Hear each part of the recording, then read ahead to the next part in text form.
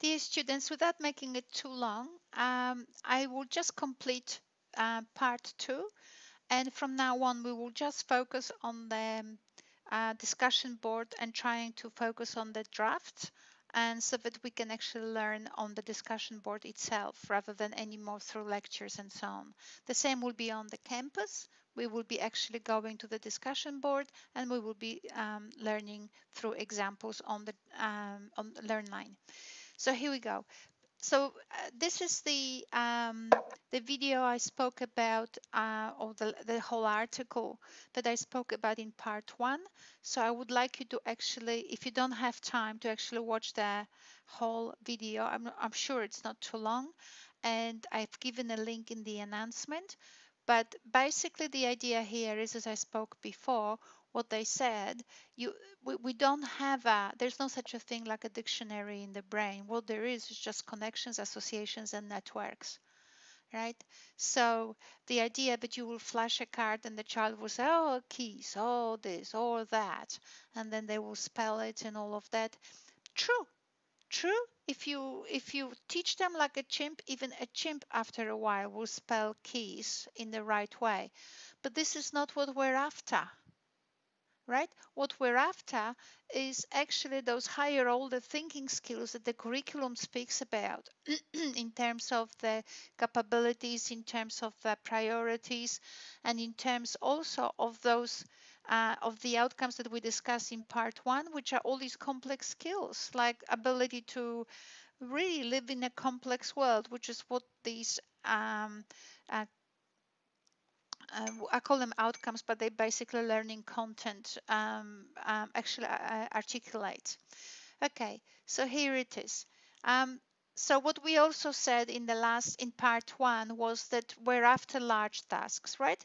And we're after large tasks um, in um, teaching because they offer opportunities for students to construct integrated meaning systems. And what is integrated meaning systems is actually systems like this. right?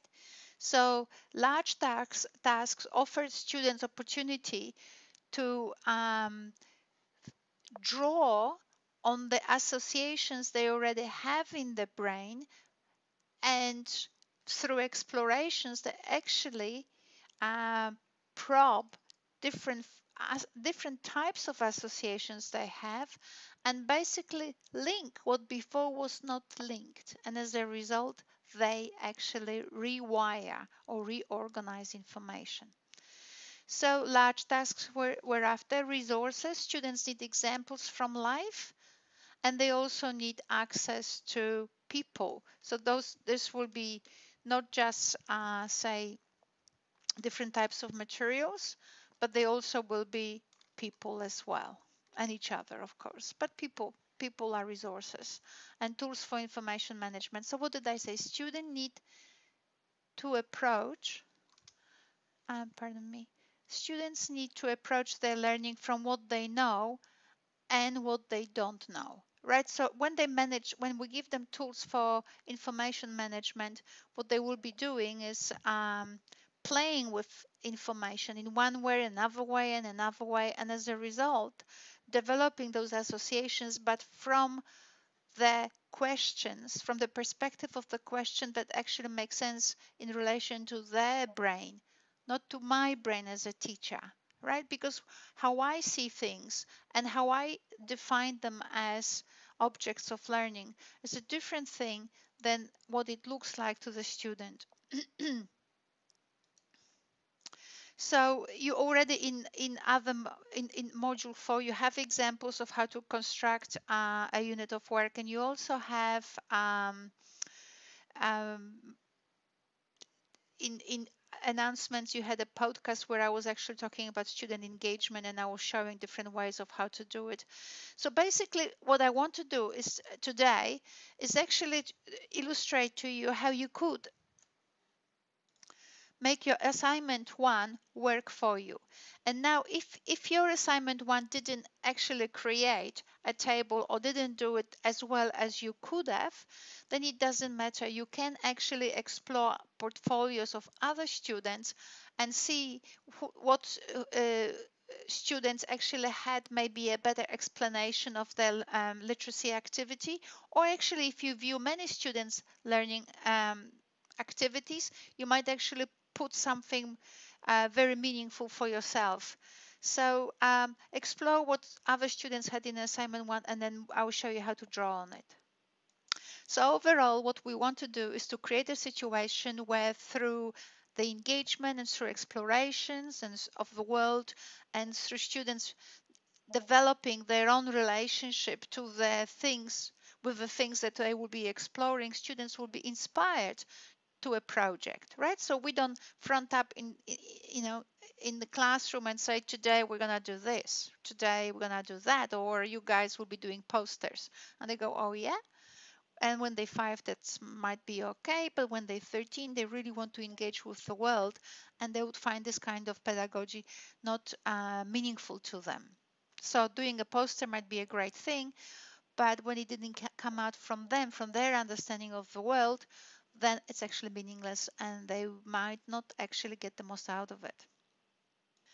So the first thing that I would like to do is when you think of actually inspiring students to engage in some something large to create to create a project right? So we want to create project.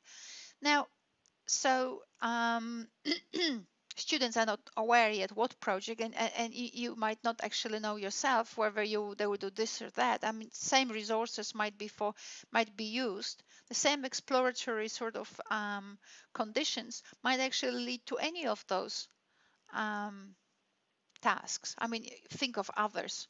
Uh, I just included here the Rachel's example when she talked about engaging students in the Skype conversations, but you know, creating PechaKucha presentations which are about um, engaging in, in dialogues about things that actually people want to talk about. And five-year-olds can do it and 15-year-olds can do it.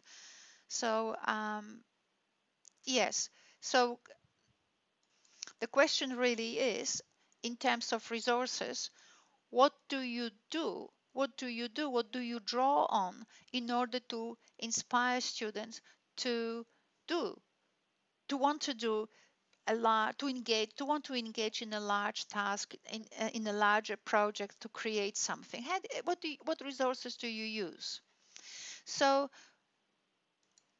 so we all have seen this table one in one way or another right? So just to make sure i am using the australian curriculum because up to the foundation uh, as from foundation year uh, australian curriculum in darwin is uh, uh, is what is used but I'm very happy for, for students who are in early childhood, like earlier years, to refer to other policy document like early years learning framework. so we had a class uh, on campus, you know, in the beginning of the semester, and we were thinking about, say, an activity, and Sharon has suggested that she reads a, a book to her daughter. So I thought I might just today take that activity in order to show you how to draw on the things you've done for assignment one in, for assignment two. So remember the question is, what type of resources would you include in order to inspire children to want to do a particular project? If I were to continue with the example of reading to someone, right? Reading to someone, then what we did in module one, we were thinking and, and then also module two helped us with it to make it a little bit more sophisticated. We were thinking what is actually involved in an activity of reading things to someone, right? What we were thinking. So we were thinking quite a lot about it. So we were trying to use the the understanding of the understandings which come from the um, priorities, which is the indigenous link, Asian link, and community building or sustainability. It's a, it's sustainability could be science, but it could also refer to community building.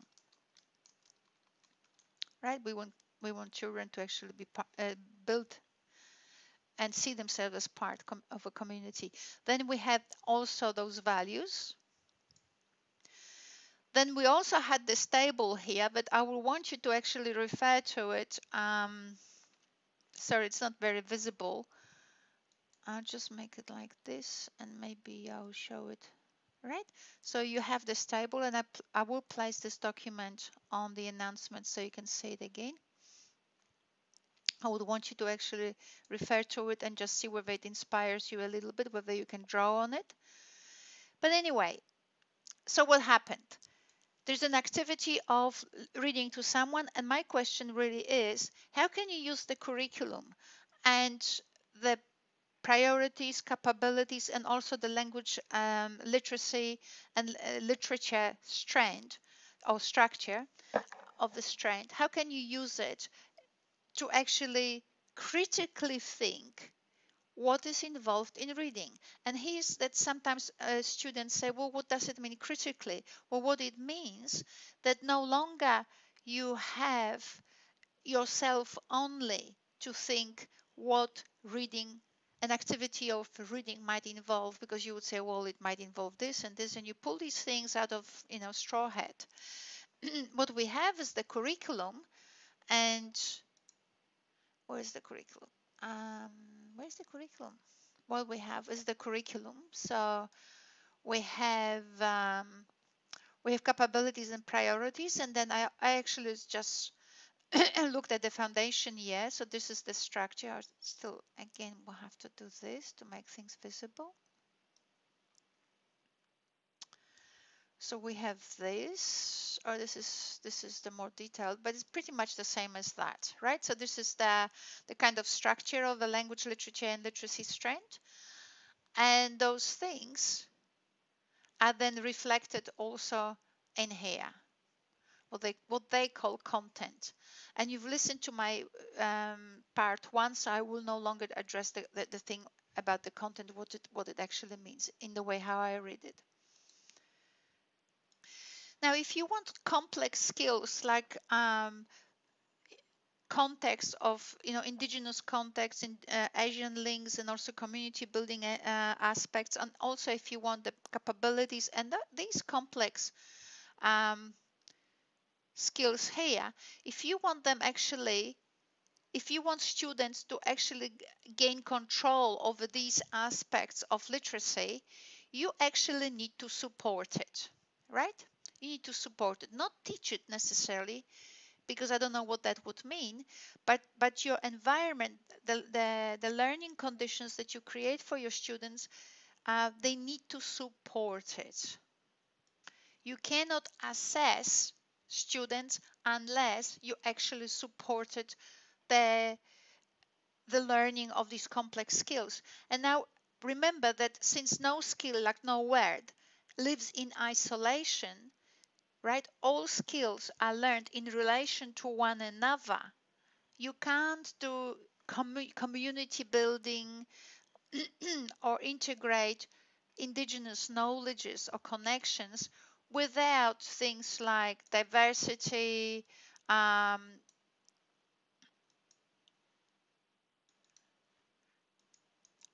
and also reference make references to things you know and probably also things you don't know and everything here that we discussed right so what i did was i actually drew on all these headings here because they are repeated in the curriculum structure of, uh, of that strand and and I have explicated them in here.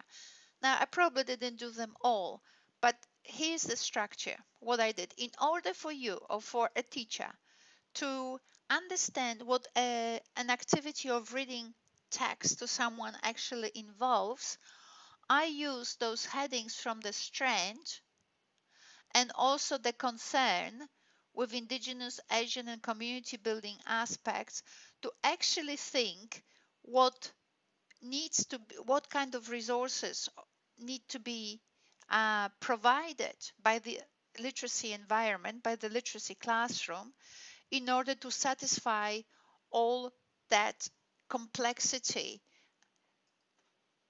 which is explicated in the curriculum. So as we discussed in module 1 and module 2, if you would like, or rather if in order to support that complexity, so for example, in relation to language change, and in terms of the critical and creative capabilities, I am really concerned here with the range, right? What kind of range of resources do you make available for students to explore in order to build complex understandings because even a detail like punctuation or if you really want to think of grammar all of this makes only sense in a larger context of use. So what did i write here? If you are thinking about if you are if you are thinking of the choice of text that you need to actually make available to students in order for them to develop complex understandings, it looks like in terms of language change, I say identify and make available, right? And make available. I didn't write it because it was uh, uh the same to me. Text that illustrate a range of dialects. Not only that, um, language change through time. So you could do you could use English here, but so you look at the, a range of dialects because uh, language change through time. So you can show people to people to students text with old English, you know, stories created and spoken using old English, and also different forms of English.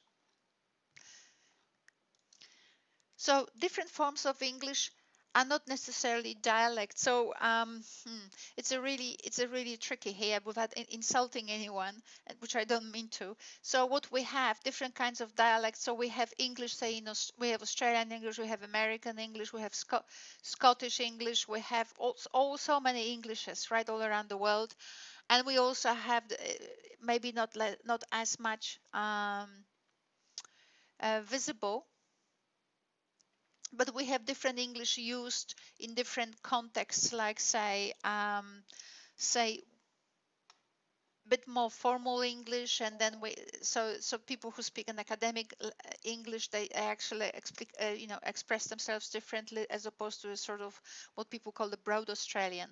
But we also have different forms of English and you know so they're not necessarily dialects but they something like what i produce you know accented english we have Indian English, and I'm not quite sure whether Indian English belongs to the dialects or not, but they use English almost like their own language because it actually uh, allows people from different areas of India to actually in, uh, talk to each other. So it's an accented English, it's Indian English, um, so yeah, so we have many many forms of English. As uh, actually our colleague uh, Professor Kuyu Lee, who is um, an adjunct professor in our university, in our School of Education, what she calls pluri-Englishes, right? And I can almost see your eyes here going like, as if it wasn't hard enough to just read to children a fairy tale. What am I gonna do with all of that? That's gonna confuse them. Well, that's one way to look at things, right? Um, as if reading to students fairy tale was even was ever that simple. So some students might think, oh my God, if it was difficult, then what about this? Well, let's let's first let's do the first step step first, right? If we want to actually do things with the curriculum, then we need to follow it. So the the first thing th first things come first. So what we want to know first is what does the reading activity actually involve? So it involves language change. And look at this. Here I'm looking at the range, but here I'm looking at impact. And personal and social, I called it meaning, right? I called it meaning just to make everything really um, to the point and and just brief so that you can actually see the difference. So in terms of ethical and cultural capabilities, uh, and as you know, the way I'm working with them, I'm looking for the impact, right? So what we want, the reason why we actually are doing all of that exercise, selecting different resources, because what we want is our students to actually develop a particular mindset. We want them to know that there is no one way to speak English uh, that that way will depend on the location, on the region, will also depend on the genre. As I was talking about the broad English, uh, working class English, it's not working class as such, but it is a working context. So different different contexts have different forms of language. So let's call them genres. We have different dialects or different forms of English from different, you know, and then we also have um, different English used in different contexts, like for comedy, you know, so in, com in comedy sketches, people play with different types of um, dialects or different forms of English. In newspaper poetry uses also makes a play. Um, different membership group membership groups have their own dialects as well, their way, their own way of speaking uh, and using English. So, so there's no one English. And what I also would like actually, so the ethical impact or cultural impact of of the of the of the uh, um, of a, a, content or what, what we call it, content or outcome, uh, is that English is not the only language used by people in Australia, right? So there's not only dialects, there's not only membership groups, there's not only different genres, uh, but there's also different people. There are people like me, uh, there are migrants, and there are people like me who actually speak more than just English. So even though we're in here, where we belong to accented English, but we also have other languages as well. So there, so we want that. So I've done this analysis for a, a number of these um, content areas, language for interaction. So here you might reflect for yourselves what literacy about what literacy practices are there for enriching engagements with others. Now this is totally meaningless, right? Um, it's very abstract because I wrote it. But basically in this uh, place, you might think to yourselves, if you are considering reading to others, what are the contexts in which we read to others, right? We read to others. And if you're thinking that maybe as a result of the explorations that your students will do, they might actually be inspired to produce any of those tasks here, then maybe you could show them what a multimodal book could look like. Well, you could create one before, uh, so um, you'd have an example. You could actually find maybe some on the internet. There are some uh, that I have seen. So you know so you give students a bit of a uh, overview like what, what's happening. People make multimodal books. Oh my god right? Uh, so that's really lovely. If you, so so you give students an idea that these things are done. If you want students to um, create a resource about their own learning to help children to catch up right? You could actually this is the time when you actually call on your own resources like your own children or friends of friends and whatever. So uh, what would be interesting is to create snapshots of students going and and uh, documenting their own learning in a literacy classroom. And they know that they do it in order to actually support other children. And you could actually maybe find some examples on on web on the web but you could actually use previous classrooms or ask your children your own children to do some sort of little bit of snapshots of this and that.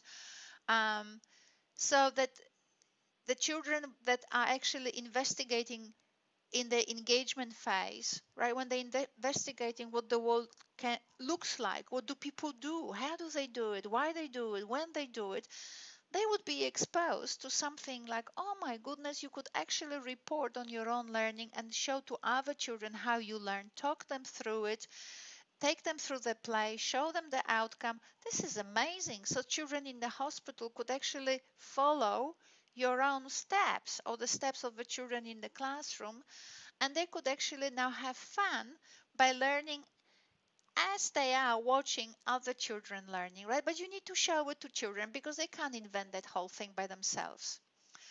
create a website. Now, even I'm, I'm always thinking of five year olds. So even though you are um, gonna teach the whole range of children, what I'm really saying that a lot of uh, things that you can actually allow children to explore might sound really like for 18 year olds, but really um, a website is not necessarily doesn't have to necessarily look like Microsoft magic, right? It can actually look basically like a page in a book where we have things that are meaningful to us so you can actually show to students and this is the time when you actually do spend a little bit of uh, your energy to actually create something yourself or maybe your school already has an example or maybe there is one somewhere on the net i don't know. But these are the sort of things that i'm trying to inspire you to think of when it comes to the kinds of resources you would make uh, available to your students in order for them to actually understand or develop an understanding what language for interaction actually means, especially in the context of a learning uh, of, of, a, of a literacy activity like reading to others, right? Because that's what we're trying to understand. We're trying to understand what reading to others means. And we're going through all the uh, outcomes to actually now um, develop a meaning. And you can see that these outcomes are now trying, are, are helping us to develop a multidimensional understanding of an activity reading to others, right? Not just in one way. Uh, here it is, I'm reading to you. Here it is, reading to others. And what are you reading? Seuss, Dr. Seuss. All right. So, uh, or Caterpillar or something. That's that's that's not sophisticated. That's just what nannies do. Okay. So, um, so language for interaction. Oh my God! And examples like this, right? When children see how much you can do with text and how much you can create in order to actually interact with people in more than one way for many purposes, and many of them actually quite relevant to children's life. Yes, children do go to hospitals, or uh, things happen. You know, there are aged care communities where people feel lonely. I don't know. Lots of things happen and in order and it would be very lovely to show to students how we could actually engage with those people through reading. Some examples i gave you. So what did i show here? So this was like the range right? So i showed you the range. You can do this you can do that. But in terms of the impact what do we have here? So through all these examples through the different range of situations what you that you will provide students with it is important that students now explore the link between the forms of literacy and what they can do with them, right? What they can do with them. Actually, I wrote it here. What is the function of text-based communication, right? But now when you saw this multimodal book or helping children to catch up with their learning if they're in hospital, you get a pretty rich idea now that this is possible. So students explore the link between the form of literacy so reading to others, and what it allows them to achieve. So, um, so different forms of reading to others. Now, why did I write here? From nowhere popped out. I'll just make it a different color. Um, I can make a different color. Didn't come up, so I'll just make it um, something else like bold. When would you measure space by songs? Remember, uh, I mean, I, I, know very, I know very little about indigenous knowledges, but I know that every school has a, or at least in Darwin, schools have culture officers. So those people will help you to create links with the community, and you can bring community to classroom. Uh, but that that stuff I already have explained in uh, my other videos about how to create a unit of work. Here, I'm just talking about the range of text and and how do we actually critic, how do we uh, know what texts to use and how. So here when would you measure uh, space by songs? Remember indigenous people, at least in one of the videos, uh, and they make fun of it, but basically when they had to 40,000 years ago or 20,000 years ago, when actually there was some time, I think it was 20,000 years ago, uh, Australia stopped being really um, a, lush country, it actually became a desert, right? It wasn't always a desert. 40, 50,000 years ago, Australia was not a desert. And then actually it became, really, uh, you know, a lot of indigenous people died because it was a really tough climate. And then in order to actually maintain uh, themselves and maintain connections you know like if you wanted to have children you couldn't actually marry your father. So you had to connect at particular time in particular places. So you had to cross deserts you have to find each other and so on. So they didn't have gps right? So there were different ways in which people were actually identifying themselves in space and time. So one of them was uh, measuring space by songs, right? So you have particular songs. So if you sing the song so many times, you will be there. And this brings us to that cultural impact, which is when we actually include some resources here, I want you to think of the types of resources that will show to students, or at least make it visible to them, that literacy has many faces, that literacy is a cultural uh, invention and that without literacy we can't do lots of things right? So those things like reading are obvious right? Uh, they, they will be apparent throughout the um, your lessons. But here we're learning that people actually have to read the land right? They had to read the land. And remember we were talking about uh, that the literacy practices change through time. So um, yes, they were reading the land in a particular way. Another way that people used to have, or indigenous people used to have, to read the land and to connect it to their life stories was of course through paintings right paintings indigenous paintings are not paintings they're not the same as say in the west where we paint our feelings or paint historical events. Here it is also not just a historical event, but it's for people to actually locate locate themselves and their stories on the map that their drawing actually reflects. And then you can, of course, um, uh, introduce other devices for locating ourselves in time and space. And in that way, you can illustrate that there are diff different forms of language that we have invented as, as, as, as the whole global society. Mind you, I don't know how they do it in the Amazon. Um, you know, for actually reading the land. So it's not like that the Google Maps is better than an Aboriginal painting. Each does its own job and when students are introduced to it, they might actually in their own projects now play a little bit with it, right?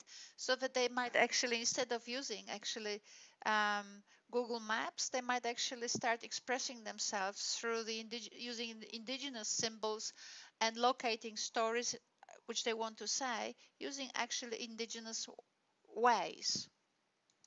Language for interaction also refers to different types of alphabet. So um, in my this um, podcast or lessons where I actually talk about how to actually create a unit of work, I do refer, and you might have already listened to it, how you can actually engage other languages and how it is actually necessary. You do it for fun, but you also do it for meditational purposes like calligraphy. Uh, but students need to actually play a bit and learn and use um, different types of alphabet. Now, I'll just be quick just to digress here a little bit. So uh, how to do it, you I probably, oops, this is something else, this is the indigenous thing. Uh, I probably showed it before in my other lessons, but you know, if your students produce a text um, of any sort anywhere, and they want to be cool, inclusive. They want to make the website or they want the audiobook to be also understandable for people of other languages so that you can, they, they can produce an audiobook or, or a multi-modal book uh, in English, uh, but they would want to actually include other languages. So there you go. This is, you type it in English, you get it in uh, Vietnamese, for example. If I find it. Right, that's it. It's already on their website. And in class, you actually can do this. I, have shown it in, on campus, but you can actually, you know, you can do this. Remove Google and then remove that. Oops, sorry. That. And you will learn how in Vietnamese people say free, free service. Free service. There you go. Or maybe, or maybe just free. There you go. And because you've got here the speech, you know, you can actually um, hear how people actually in Vietnamese pronounce it. So not only not only you can so you, you can actually record it or actually you can make your students learn how to pronounce it. Now when they're under 11 they should be actually flying through it, right? Because um, it's quite uh, easy, uh, easier for children under the age of 11 years old uh, to actually learn to pronounce things without an accent. So that's great, right? They can actually record themselves reading their own uh, text which they produced for the website or for some other book and so on. And that's just fun. It's hysterical, it's fun, and they will love it and they will be showing it off. But very, the very fact that they can actually take a text like this and put it here and instantly have a multilingual website, and I know that Google doesn't translate it very well, but who cares? That looks way better than if you and I did that without a dictionary uh, or even with a dictionary, right? It is instantaneous and makes it all cool. So there. So I produced here some more things like, so remember that whatever is in here talks about the range of text, whatever is here talks about the impact, cultural impact, right? So I, in text in context, so what I'm saying here, expand students' lived experience of the relationship I just wait, I have to read it for myself. Okay, so what do I what I should have had here is expand students' experiences. So basically what we want the student is to learn or explore. So we, we basically provide examples, provide examples uh, illustrating the relationship between text and their purpose. So here I'm talking about include a range of genres, symbols, culturally diverse writing practices. So it looks very complex to you, right? Because it says like, so what do I do? Do I do it in one single unit of work? No. But what I'm saying is, um, well, yes and no. What I'm saying is when you create a unit of work and that unit of work, I suggest, should be, it is helpful if you base it around a particular literacy activity. And here we were looking at reading to others.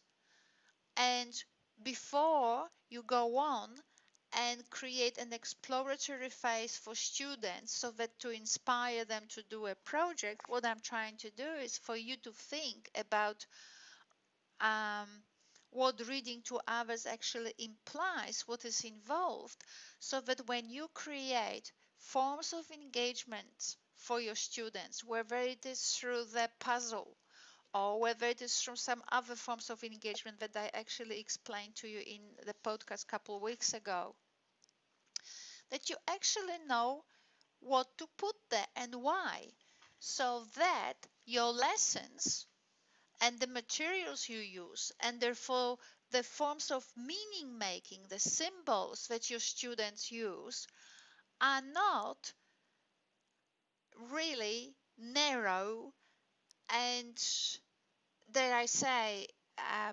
monolingual, monocultural, kind of abstract. In fact, in fact, when you allow students in uh, access to uh, richer number of resources and when you actually make them uh, you choose them and make them available first you need to choose them and if you choose them by understanding all these aspects that i'm talking here about then your learning resource and the, and the things on which in relation to which students will be building their understanding oh my god this world is so big so many things so many things to play with right? So all of a sudden now children actually are learning that they have toys to play with to do things. All of a sudden tasks become doable which is quite different than to than drilling children to a myopic understanding of what is happening in a particular story right? So what does this word say? What does this word say? Well first of all why did the particular sentence start this way or not another way why did the next sentence start this particular way not another way right? What is the relationship with the second sentence and the first sentence? How do you explain it right? So the only way that you can actually en enable children to develop such complex understandings and therefore become good readers and become become good writers is when we ourselves understand how much is involved in a particular activity, make text, make text and tools available. And this is an exercise for us to think about it, what, what to include. So remembering that tags actually come in context, right? So what would that mean?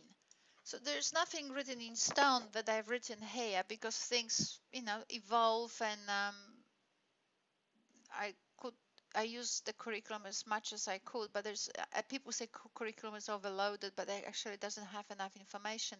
In fact, so what I wrote here, that so so this is the range, like you show different types of writing and all of that. Um, but here, in terms of impact, I was thinking to myself, forms of analysis. Uh, okay, so basically, you need to, so for students to actually make the link between the text and purpose, they need some forms of uh, tools for analysis, right? And the curriculum actually somewhere does say somewhere analysis of an evaluation. I don't know. I don't have it here. I might just have a look. So it's here, right? So it is there. Um, interpreting, analyzing, evaluating. So in order for students, for children or for students to actually make the link between, to actually understand the link between the text and context, right? To actually explore, explore, because they all understand, they already speak English, they all understand it but they actually they do not understand it critically so what, what we have to do is provide them with a range of things and then actually use some tools develop some tools that allow students to actually create a link be between a particular text and the way it actually manipulates people and the values from which this particular text is coming. So um, I of course offered you my own analysis, which is you know the, the, the structure of the text and the emotions, and that allows students to actually reflect on such links and, and, and identify strategies with which um, readers manipulate or manipulate readers. I mean, the writers manipulate readers. Yes, people say meaning make, make meaning. I don't know what make meaning means. This is such an innocent, neutral word. Actually, text always manipulates because when you speak, you actually go after an you are after an impact, right? You always manipulate the reader, and manipulate doesn't mean actually negatively. You uh, doesn't mean anything negative necessarily, right? But we always act strategically. Now, there was there was a good point made in the last collaborate session by um, Rosalind when she actually said, and then in order to actually truly assess this link between um, text and purpose and to reveal values, what Rosalind said, so then when you provide a text, choose also a range of text that will allow students to detect those values, right? So example that we had in the collaborative session on the 6th of, Friday, uh, of, of May, on the Friday, was a reporting of a car accident, right? So a member of a obviously wealthy or at least well doing well uh, Greek family uh, died in the car accident. Someone hit him and so on. And obviously the, the, the, the article was written with um, sadness and a sense of loss. Um, but uh, Rosalind asked, I wonder whether uh, a same sort of uh, uh, sense of empathy would be coming if it was an indigenous person or if it was a homeless person, right? So what what happens now if you used my uh, tools of analysis, uh, which would allow you to, step by step to analyze actually how what emotions is the text actually trying to evoke in the reader.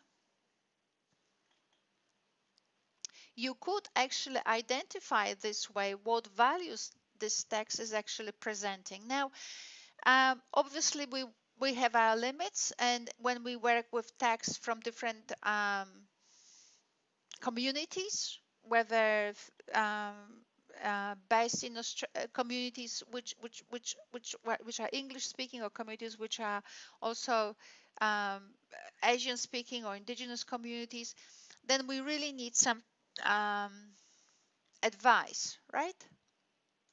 That's why having exposure to a greater range of text builds a, a cultural uh, expertise uh, because just trying to actually see how one text does it, it's not telling us much um, about how the text and, and the purpose actually are linked together.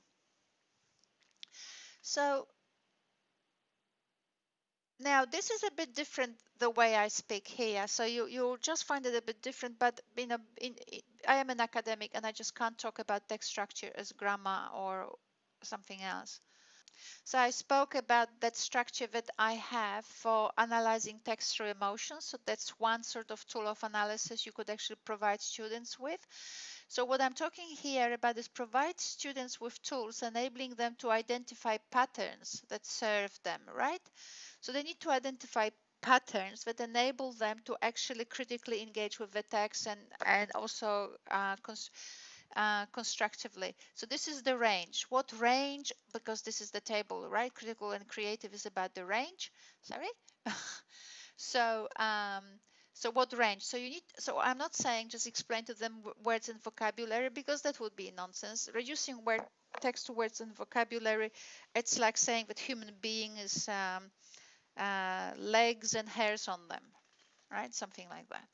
Anyway, so thinking of genre, this is my structure of uh, my, my, my, my, tools of analysis uh, for analyzing structure, for linking structure with emotions. Tools for exploring intonation and word order. Now, uh, I've, I've explained it quite nicely in the collaborate session on the 6th of May, so you should actually watch it because actually we we don't actually pay attention to the good expression because we think that the students will create well grammatically constructed sentences based on uh, grammar. This is a nonsense. The grammar doesn't exist really. I'm sorry for that. It it does exist, but not in the way of how we talk about it we live grammar, we are structured by grammar, but grammar is just like words. It's not just one piece of information. It lives throughout your brain and it's connected to your gestuality. It's connected to your to, to, to your rhythms. You become it. That's why English people do not have to think about English grammar because they are it, right?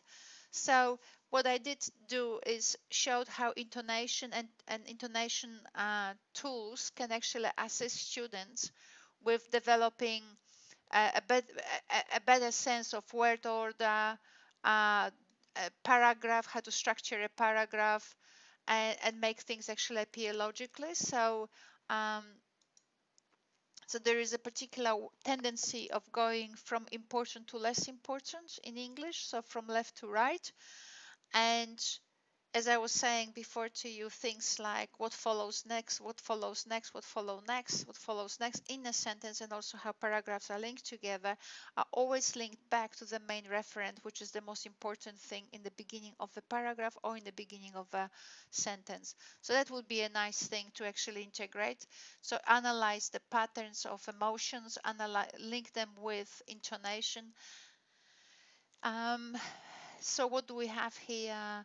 Tools for exploring what else is in text.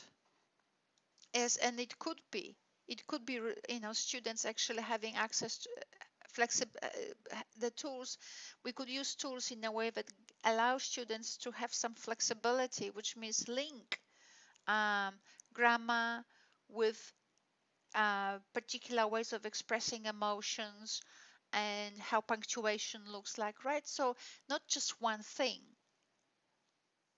because what we want is students to develop a literate disposition and that's again a complex um, a complex set of set of associations and the only way they can actually do it is when they compare one form of one pattern with another pattern with another pattern and then they can actually build those associations gradually obviously they will do it for you much faster if you said to them this word means this.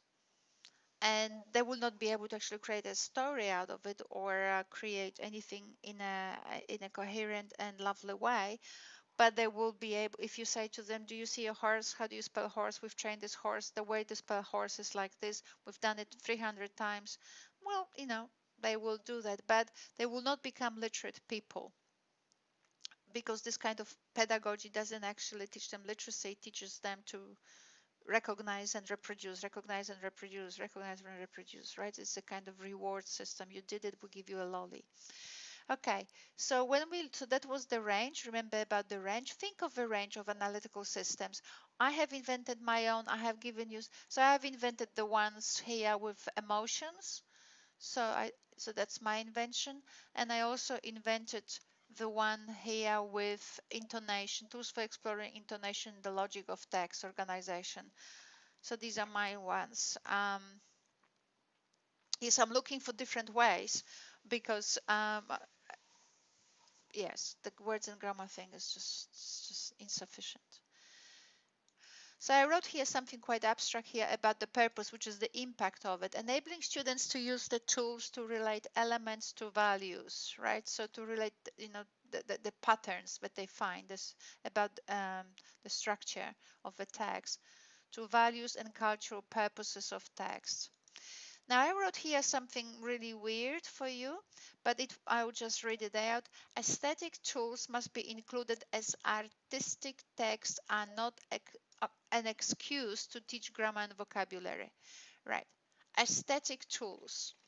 So um, if you read to children any story, right, and you do all this, uh, so so when, when when you analyze with students uh, a text, it's very important not only to do the things that I here mention, but texts are especially the texts that uh, people use in uh, schools, are written by actually important authors, right? Dr. Seuss was not Ania Lian. He actually, his text, and, and, and I'm just mentioning him because you will not be using just uh, uh, Australian Anglo-Saxon sort of stories because that would be actually sad if you did. But uh, if you reduce literacy to just that, but what I'm saying is every text has their own uh, um, aesthetic um, is, is, constructed in a particular way to generate in the reader not just uh, an emotion but also an aesthetic experience. So the rhymes and all kinds of things that happen in the text, particular word choices, emotions through particular word choices, um, are very important that they actually as um, considered.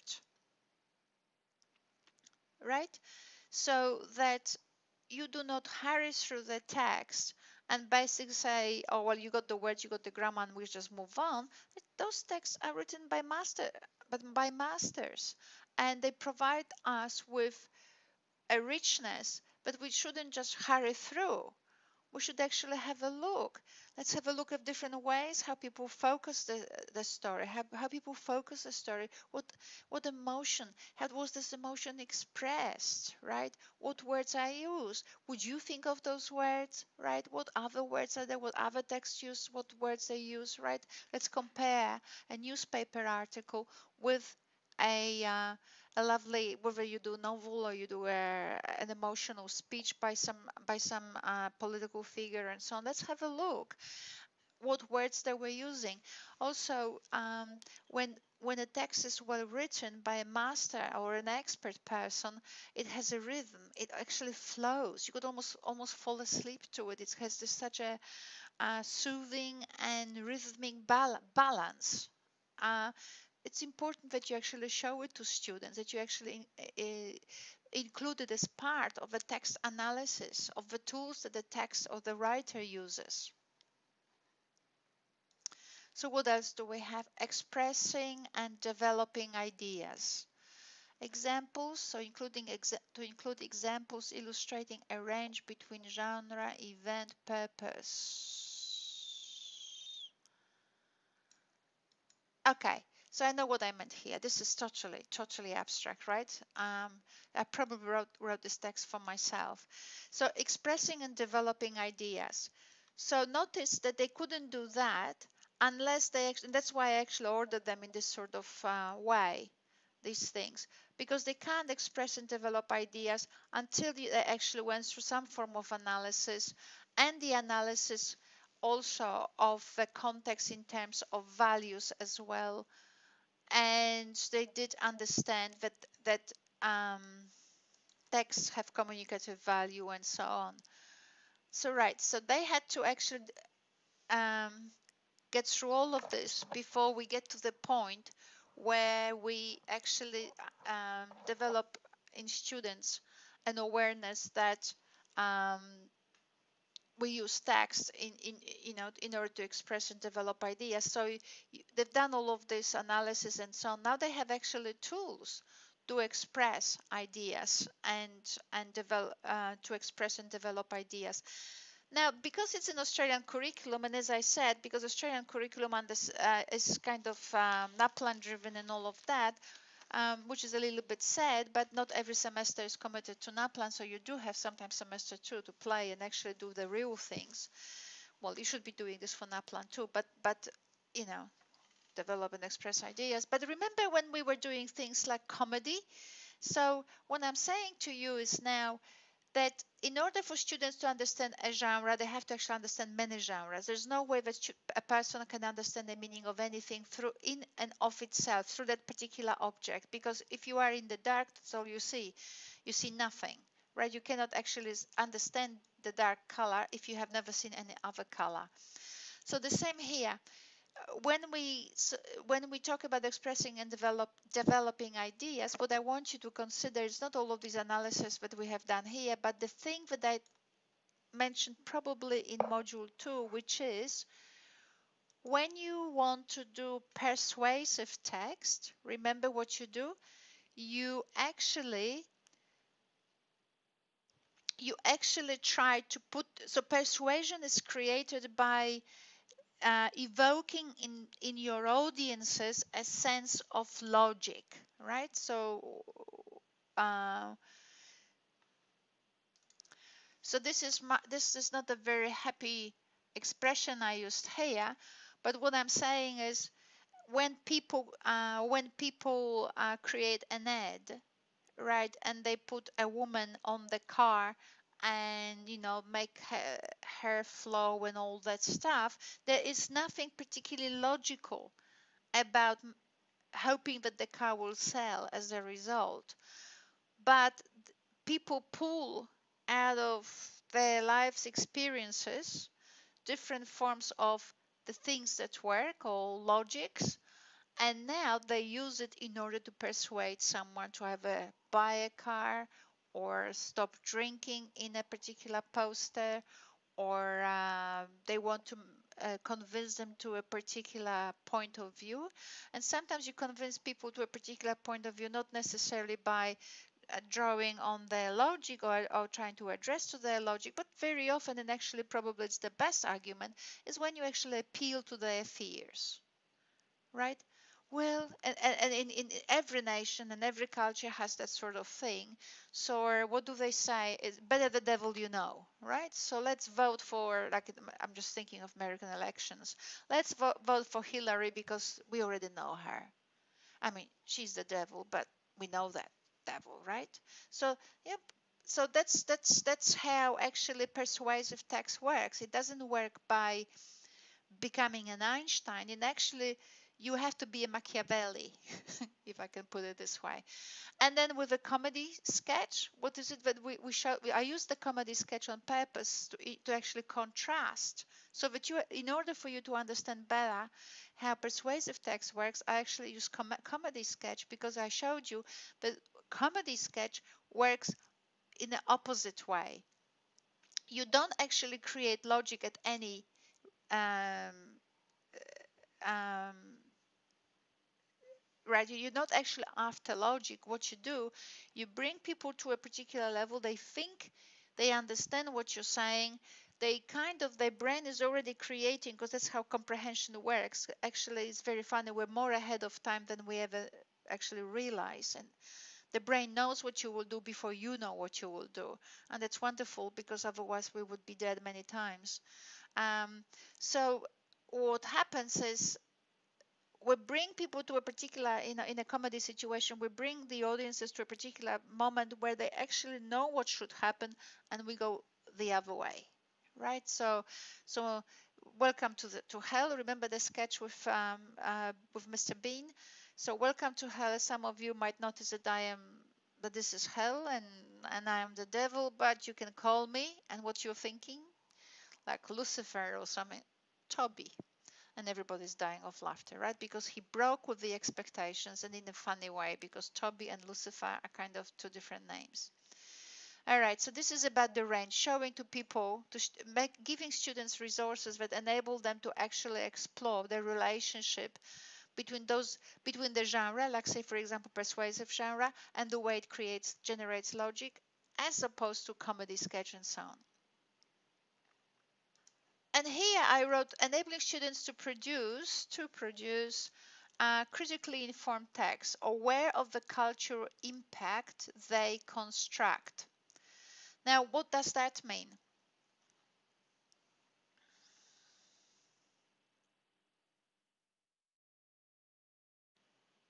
we live in a diverse society in a multicultural society we have different types of different pardon me different types of english different uh, accents, different symbols, different meaning making. I don't want to use this meaning making word. So different symbols, different uh, ways in which we use these symbols in order to actually manipulate values in order to uh, achieve whatever we want. Now, critically informed doesn't mean actually well, it does mean respectful, but it doesn't mean uh, deprived of play, right? People can, students can actually play with the with the range use vietnamese ornamentation use vietnamese i don't know whatever use chinese symbols use indigenous ways of uh, thinking of the land and the map and whatever else right? Students can actually integrate different different symbols, different uh, ways of thinking of text, and also different ways of um, expressing values in order to produce their text. And this is what I would call informed. And this brings me now to assessment, right? Sorry, it's just about uh, over an hour, but basically brings me to assessment if you in your resource when you want to and remember this thing here when you want to create the engagement phase which is the first one and when you want students to be inspired by the different things that people do you want them to explore text explore different tools of analysis of text analysis and so on they actually learn before they actually get to the point when they actually do the project, right, which is the evaluation, the summarizing findings and identifying the project. Before they get to the actually project phase, they learn a lot in the engagement phase. And this actually runs counter to what you will see in schools, to what you will see probably anywhere. The reason for it is that a lot of uh, ways of teaching students how to teach and you know how you will be mentored or are mentored in schools are based on the past.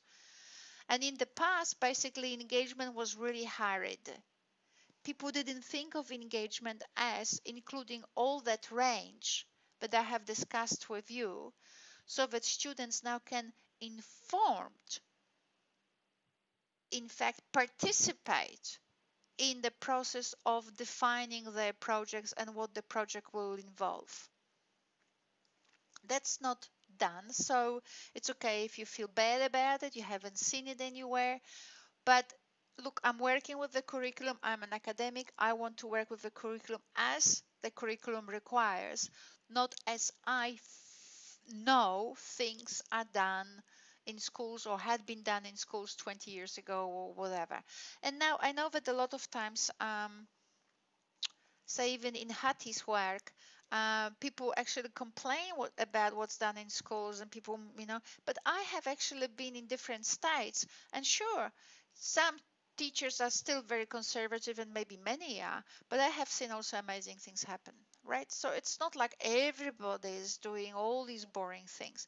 But anyway, so what I wanted to say is that the engagement phase is actually a rich phase. It's the phase where children actually explore the world.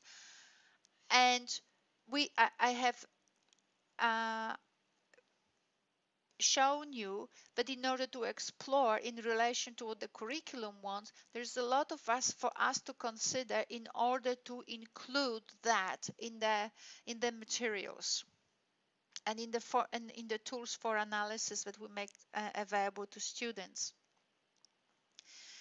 Now, in assessment, because because you made all of this available right all of this available and, and students and students were engaged in different forms of analysis and considered different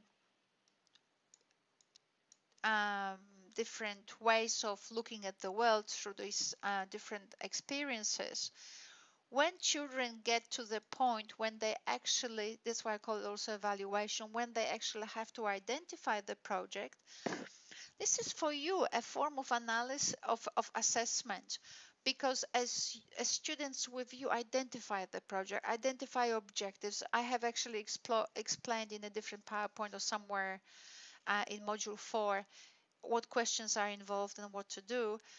So when you actually go with children or with students through those uh, questions, you actually get a pretty good idea it's a formative assessment, right? You get a pretty good idea of how much they uh, remember, how much they actually were um, impacted by the uh, engagement phase.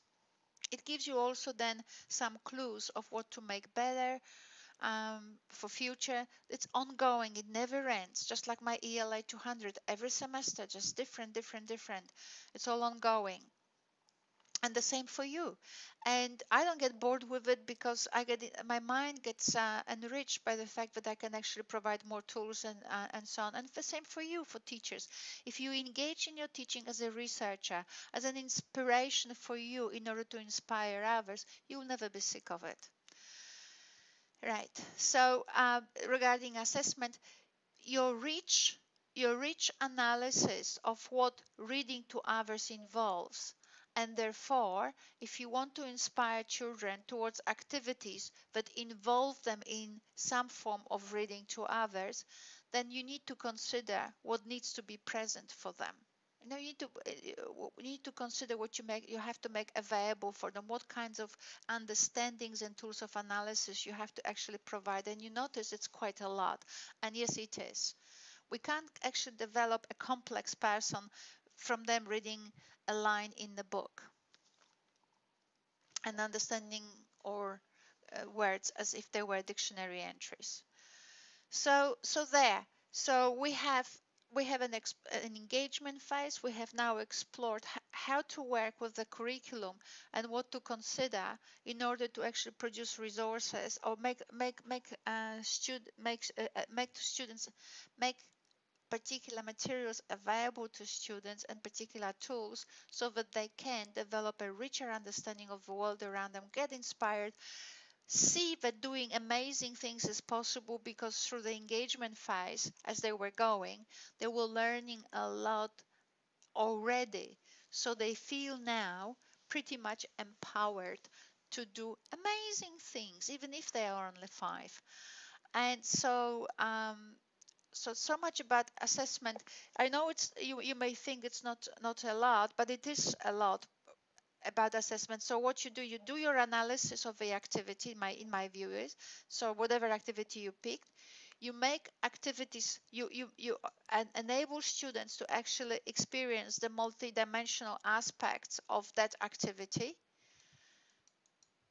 Students explore them. Students develop an understanding of what they would do as their project and in the context of students defining their project as you go through questions uh, you actually that gives you opportunity to do formative assessment and you actually can assess how much of what you actually made available and what students explored was visible in their responses to you about the project that they want to do. Now, uh, so that and a couple of things. Remember, uh, do not think it's silly whatever I have produced here. Then I have given you also links to, uh, oh yeah, what's that? Um, I don't know what it is. Uh, where's my avatar? Anyway, I don't know, something happened. There should be an avatar here. Um, I have given you some examples of how to use technology. And again, they're different. And remember, so that's the avatar. So you can, I'll show you the link soon.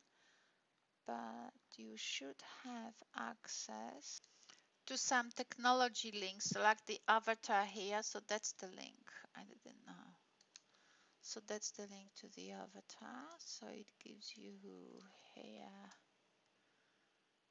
um, so you have that explained in some of the videos that I showed earlier how to work with it in the classroom with five-year-olds pre-service children pre pre pardon me pre-literacy pre-literacy children. So they can actually they so it, it just um, it, it just will um, uh, have to watch that yourselves because there's not enough time in that video. So Google Translate already explained and this one I have explained. So you've got some links here to different things. You even have some game I invented and so on. Do have a look. It's very much or or at least keep for yourselves for your future these links and these um, understandings of how to work with those resources. Here's avatar explained how to work with avatar. Um, anyway when you look at how to work with how to design a unit of work part one and part two I do explain the things. I also think that you will find very useful activities here with designing um, empowering activities, you have a look about reading. So all of this is about how to actually not just structure unit of work, but how to integrate those uh, reading activities that we have covered through um, YouTube videos that I have posted a couple of weeks ago and the collaborate session um, on Friday last week, which is on the 6th of May a little bit today and also throughout the semester. This one is very interesting, uh, which is Joe Humphrey's PowerPoint. So this will, so please explore it. I have actually worked with it already in one of the podcasts, but um, you might want to re, uh, refresh your memories. All right, so so much for today, and we from now on move on to the discussion board where we need to actually bring it in, translate it all into practice and see how students are actually working with all that. Okay, thank you very much.